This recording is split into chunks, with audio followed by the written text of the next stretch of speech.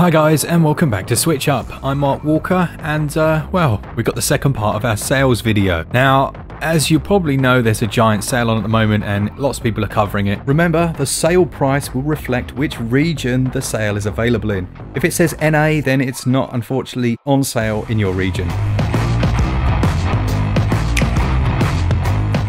First up then we've got Two Point Hospital which is very obviously based on Theme Hospital from the 90s, an absolutely classic game. Now a few people have complained that it's too similar to that title but realistically I mean that's kind of what they wanted to do. You essentially have an influx of patients at the start of your new hospital and they have varying conditions that you then have to solve or remedy by installing new machinery. You'll need to undertake lots of different research, of which you can allocate, through which you'll be able to better treat and diagnose the conditions.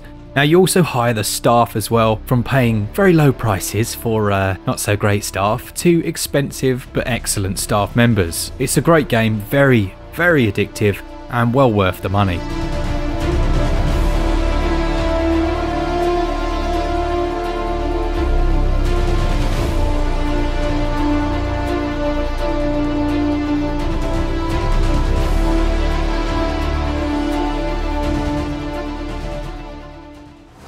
Next up, one of the most impressive ports that we've seen on the Nintendo Switch, and it's Hellblade Senua's Sacrifice. If you're unaware, there is a sequel in the works already, so now's a good time to pick this one up. It's a third-person action-adventure title. The action, eh, it's okay. The combat in general is just okay, but it's the exploration and really the narrative that drives this one. The developers work closely with institutions and individuals who suffer with split personality disorder to enable them to bring a realistic representation of the struggles that those individuals go through. It's very dark, it's also very slick and runs fantastically on the Switch.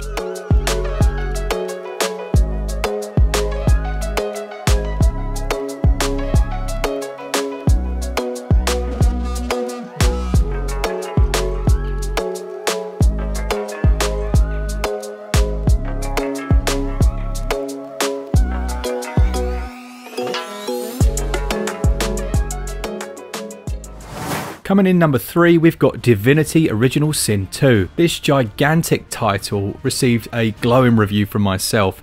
I compared it to the likes of Baldur's Gate, and in actual fact, it's the same developer that are making the third Baldur's Gate title, which I sincerely hope comes to the Switch. Come on now, that'd be amazing. You'll recruit travelers along your way. You can do things in a variety of different methods, and I joked in the review that one of the ways of getting powerful quickly is to be a little bit more stabby. Um, if that's the way you want to do things. There are lots of difficult moral decisions, and you can have a pet cat or a dog if that's your thing. Very good game indeed. In fact, it's incredible. Go check out the review if you want more info on that one.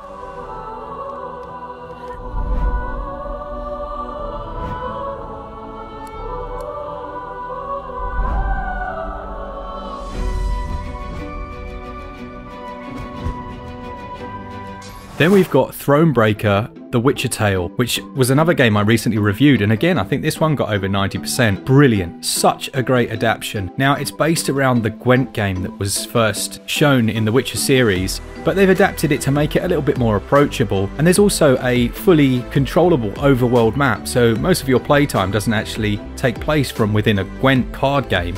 It takes place wandering around, finding new items, and training up from within your camp to get new gear, new soldiers, and then upgrade all of those.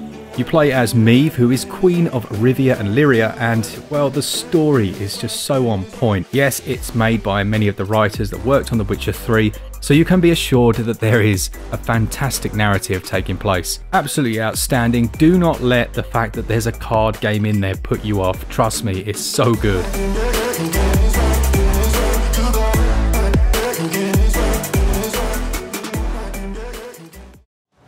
I'm going to lump the Darksiders together in this, so you can either go for Darksiders, the first one, if you've not played it before. The port is immaculate, it's super slick. I believe there's a performance mode in there as well, and a quality mode. Everything about it is just running slickly. Very similar to actually the core mechanics of a Zelda title, except with a much darker overtone as you play as one of the four horsemen of the apocalypse. Now, the second title I actually prefer as a game, but the performance wasn't nearly as good, which actually was the same across the board. So on PlayStation, the performance wasn't as good either. I'm not entirely sure whether it was a limitation of increasing the size of the world and making it a bit more, a little more open world, or whether it was just bad optimization. Either way, they're both excellent titles, and there's a nice chunky sale going on right now.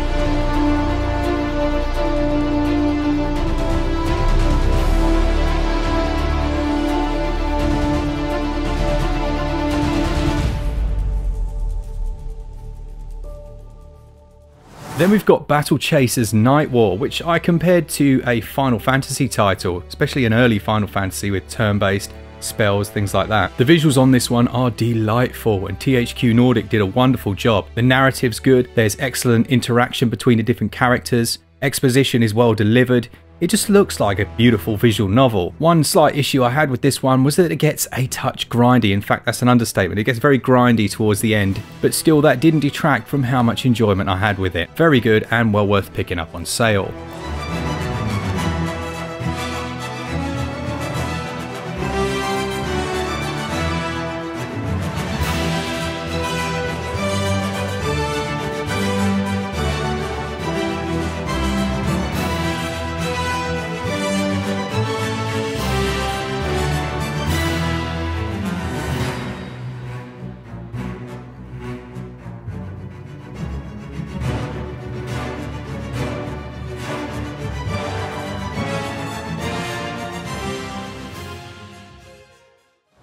Next up, we've got a title which was reviewed by Evan, I believe, on the channel. Lucky son of a gun, because it's Atelier Ryza. Now, this was before I'd played any of the later, or the earlier, I should say, Atelier games. There's over 25 that have been released. And this one seemed to do many things really well that the others didn't quite have so coherent. It's got an excellent narrative, the core mechanics of obviously working from within your atelier to do your alchemy have been refined, and it's just a very, very good game. Evan was impressed with it, and if you want to check out his review, then go check it out down below.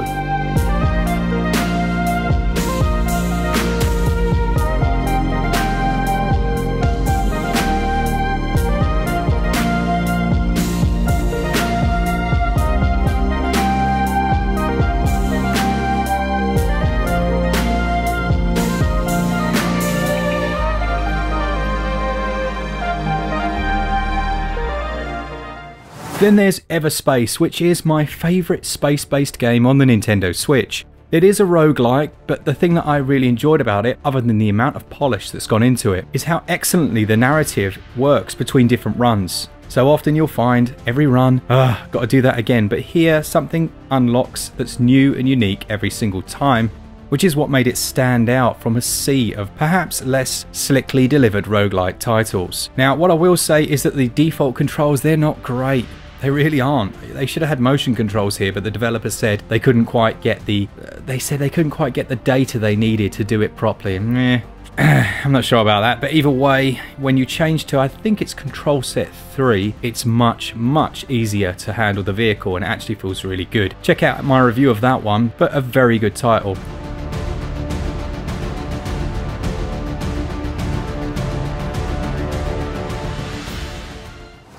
I featured this one on so many sales lists, but it's too good not to, so I'm going to do it again. And it's Ys-8 Lacrimosa of Dana. I should imagine we got a load of new subscribers that weren't here for the last time this was on sale, and it's not one to miss. You find yourself shipwrecked on an island, and you have to build up your home base by going out on different ex exhibitions. There's obviously a full RPG here, it's real-time ARPG style combat, so it's an action RPG. There are loads of different customizable outfits, and an interesting mechanic whereby you gradually unlock different sections of the island based on the amount of crew that you've managed to recruit. Really a lovely game and well worth having a look at.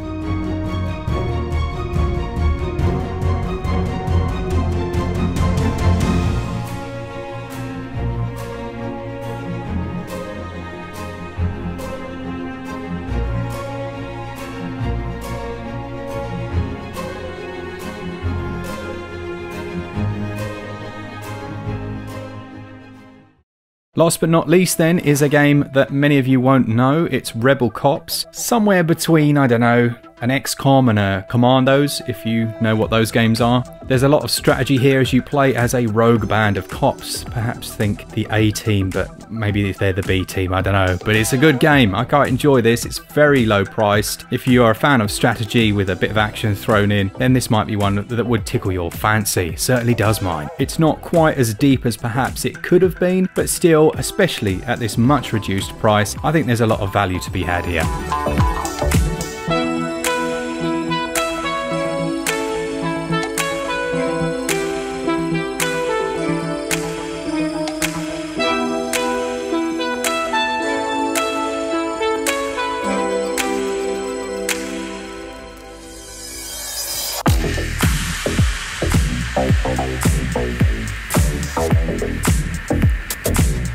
Going to controversially say that one title that you should potentially avoid is Mutant Year Zero just because it's on the Switch. Now, let me just clarify what I mean. It's a great game, it's brilliant, and if you can only play it on one console, then yeah, you can still enjoy it on the Switch. Unfortunately, it looks terrible on the Nintendo Switch, like bad, especially and well, really in handheld mode. It looks shocking. So, you know, if you can get past that, then it's still a good game. I'm not saying it's not, but what I am saying, if you've got any other way of playing this, it's better elsewhere, unfortunately. So that's one, maybe not recommendation to avoid, but just buy it somewhere else. My next absolute avoid like some kind of steaming rat infested carcass is a title called Beast Quest. Now, this is based on a very popular set of books, but the game is just. some of you popped by for a live stream I did a while back, and I was playing this, and it. I think it almost broke the internet because it's so bad. It is shocking. Like, no joke, the first 10 quests you do are something like I need, I've dropped feathers, go and collect these feathers. And then the next guy's like, okay, I need 10 apples. Go and collect 10 apples. And the next guy's like, I've, I've, I've lost 10 pieces of stick. Can you get... I couldn't believe it. I literally was messaging Glen like, this is unreal. So yeah, Beast Quest. Lovely artwork on the eShop. Looks great. And even some of the little images there, you might be fooled into thinking, yes, please, I'll have a bit of Beast Quest. How about no quest? Don't do it to yourself, trust me. Go for Freedom Finger instead. That's a decent little shooter. Right, a big thanks to all of you who watch the channel. Please if you're a regular, do hit the, uh, what is it, the little notification bell, because it will tell you when we release videos, and that's good for us because then hopefully you watch them. And, well, thanks for all of you. I am feeling better, and for all the well wishers down in the comments, that's really cool. What is it I say next? Oh, yes. For all things Switch, all the time, keep it Switch up. Cheers, guys. See ya!